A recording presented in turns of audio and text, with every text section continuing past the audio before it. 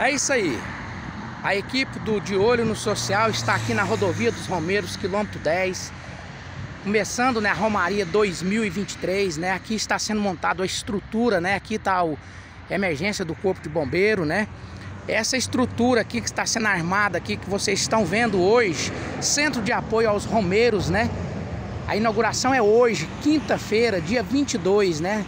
Essa estrutura toda está sendo armada aqui a inauguração hoje esperando o governador Ronaldo Caiada, a primeira-dama Gracinha, várias outras autoridades vão estar presentes né, na inauguração hoje, a partir das 15 horas e 30 minutos aqui, né? Aqui é a rodovia dos Romeiros. Aqui vão passar cerca de 3 milhões de pessoas esperado nessa Romaria 2023, né?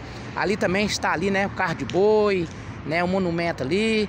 Essa do Corpo de Bombeiro também aqui. Esse, esse ponto de emergência do Corpo de Bombeiro vai ser inaugurado hoje, às, 14, às 16h30, juntamente com a inauguração da barraca da OVG aqui, né?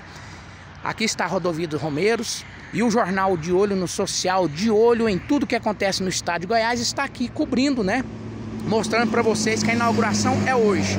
Aqui na rodovia vão ser esperados mais ou menos aí 3 milhões de pessoas que é o esperado de passar na Romaria 2023. A capital da fé, né, espera, né, que seja esse tanto de público, né? E nós do De Olho no Social estamos trazendo a notícia em primeira mão para vocês. Fique todos com Deus.